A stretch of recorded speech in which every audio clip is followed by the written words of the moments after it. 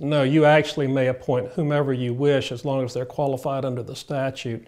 It is a good idea to make sure that if you're naming different people, they can work well together for your best interest in the future.